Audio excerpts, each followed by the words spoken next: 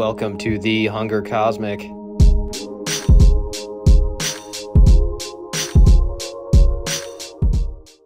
What's going on? Today I'm going to be wrapping up my look at LEGO Avatar sets with the Mako sub. Stick around and I will be displaying all four LEGO Avatar sets that I've picked up and give you some final thoughts on this new sub theme.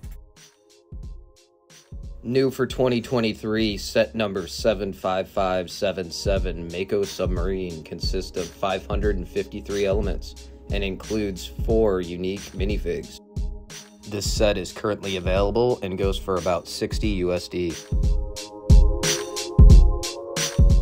Here's a better look at the front of the box and the back. I'm kind of bummed we never got these green bat elements. It would have been nice to have some aqua bats.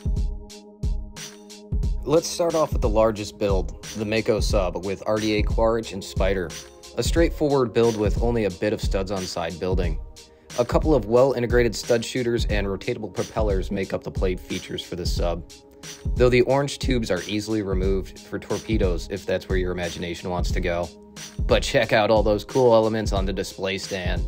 Turquoise bananas, satin trans dark blue cones, medium lavender carrots, wild stuff. Inside the cockpit, you'll see not much space and some detailed displays. Here's a look at LEGO Quaritch in his human and RDA form. There were no actual avatars in the second film, right? I digress. Here's the sub closed up in its full glory. I'm not gonna lie, not a huge fan of the beak front. There's also a hidden feature. In the middle of the sub holds either a Mako power source or the film's MacGuffin. I'm also not a huge fan of the recent movie-based LEGO subs having the pilot fully lying down. Here's the Mako sub next to my all-time favorite LEGO submarines. Note the subs on the left have room for a minifig to stand upright at the helm.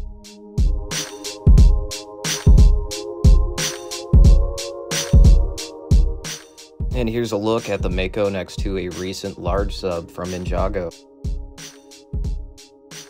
On to the larger side build. I dig this little cave. Again with the awesome elements in use, including glow-in-the-dark bits, a nicely printed ray, and a teal Na'vi. There's detail inside the cave with two areas that look intended for some storage. This little guy's bow acts as a flick fire play feature. And not a lot to look at, but this small build also has some cool elements take a gander at the two way the water sets together.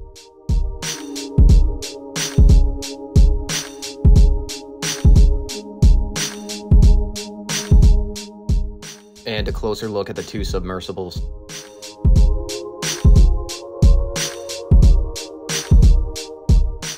Here's all three sand green RDA builds together.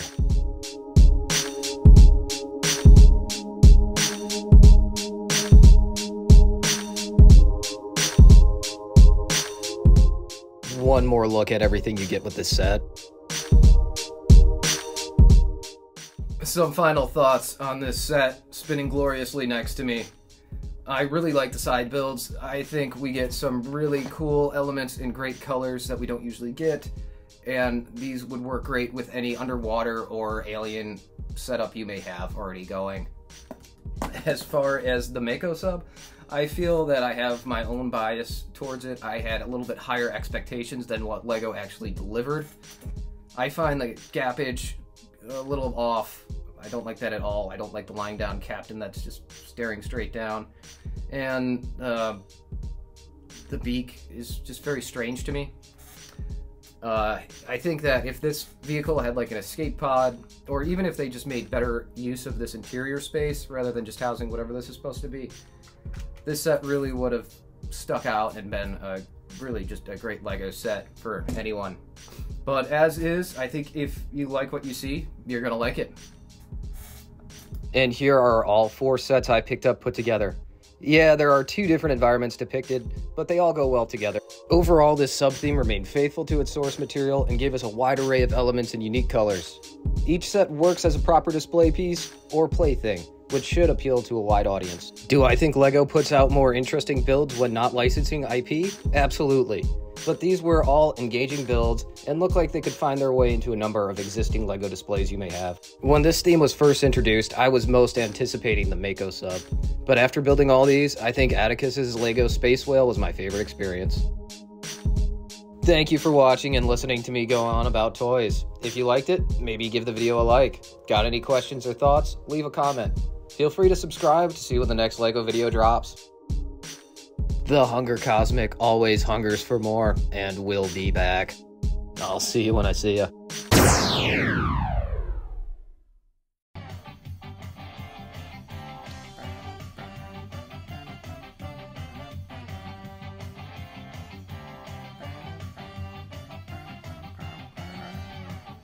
Fuck.